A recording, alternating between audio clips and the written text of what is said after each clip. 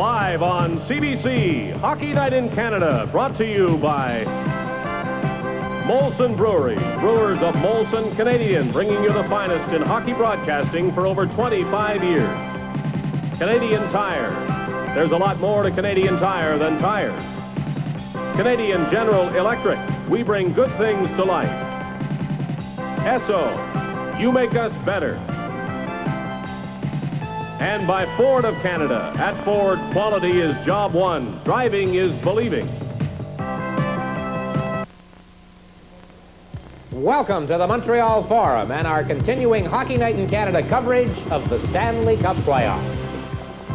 Good evening, everybody. This is Dick Irvin speaking to you from our Montreal Forum studios. In a city where the word surprise is heard over and over again when it comes to the performance of the local team in the Stanley Cup playoffs. How many more times can the Canadiens surprise people? And that was a key word again following their 3 to nothing series opening victory over the defending champion New York Islanders here on Tuesday night.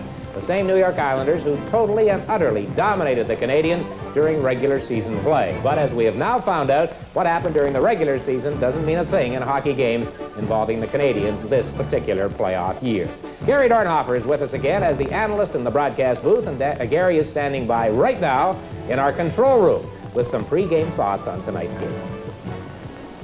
Dick, the Montreal Canadiens have surprised a lot of hockey people being in the conference finals, and I think now that there's a shock there, especially after winning 3-0 against the Islanders in Game 1. The Islanders have won four Stanley Cups because they are an excellent grinding hockey club. They fire the puck into the corners, they have good pursuit, they cause turnovers and score goals. In Game 1, they were a very tentative hockey club. They didn't have that drive, they didn't have that bounce. That won't happen two games in a row. Bossy and Trottier were almost invisible. They were checked into the ice by the line of Carbonneau.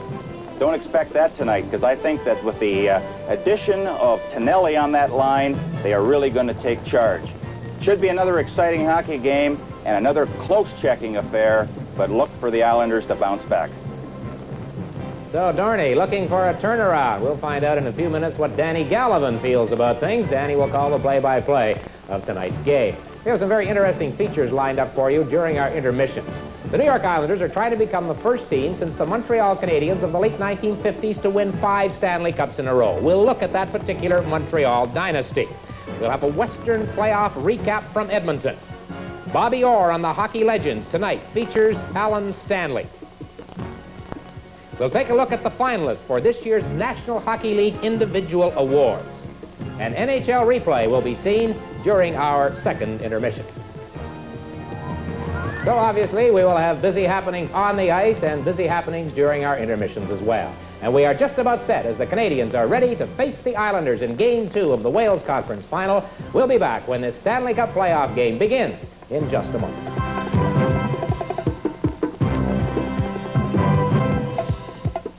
Out west tonight at the Northlands Coliseum in Edmonton, the Oilers take a 1-0 series lead onto the ice against the Minnesota North Stars in Game 2 of their Campbell Conference Final Series. That game won't start until just about two hours from now, but we will give you some scores as we receive them and perhaps get a chance to look at some of the scoring plays from that game tonight in Edmonton. As Gary mentioned, John Tonelli is back in the Islanders lineup as an expected to start on left wing alongside Bryan Trottier and Mike Bossy. Tonelli, always an excellent playoff performer for the New York team, missed game one because of the flu. Also in uniform tonight for the Islanders will be a rookie defenseman, Gord Dineen. He did not play in game one on Tuesday night.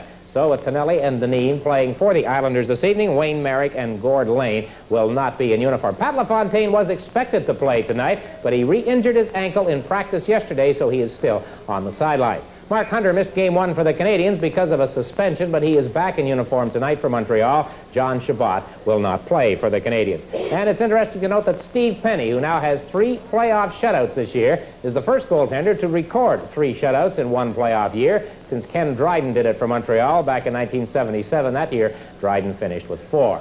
The teams are still uh, not on the ice. They really waited out. I guess it must be some kind of a psychological battle. But Danny and Gary are ready in the broadcast booth, so let's go upstairs right now. Well, we are upstairs, and Dick didn't mention the fact that he and I agree that the winner of tonight's game will win the series. Dornhoefer has never agreed with us. Okay. Well, I don't now either. Danny, I, I well, don't... Well, let's, I... let's look at it. As the Canadiens win, they're up two to nothing. And if the Islanders win, they establish the objective of uh, making uh, one victory on the road, and it's their uh, advantage after that. Yeah, you can you can certainly always look at it that way, Danny. I I have seen teams win three in a row to win Stanley Cups, and I've seen uh, it happen with us. We lost the first three games against the New York Islanders, and they came back to tie us, and we won the seventh game. There's just too many things that can happen during the course of a series to really say this particular game will win the series. Well, that's why Dick and I are wrong so often. Well, I am too. I haven't picked the series winner yet, so. You know, seven years ago tonight, you were caught up in a tremendous hockey game playing for Philadelphia against Boston. Terry O'Reilly scored a long overtime, 30 minutes. Remember that? Yes, I do. And you know that is the longest, second longest overtime in the last 15 years. Now, let's get to the game here. We have Potvin and Gainey. Now the two captains talking to referee Lewis.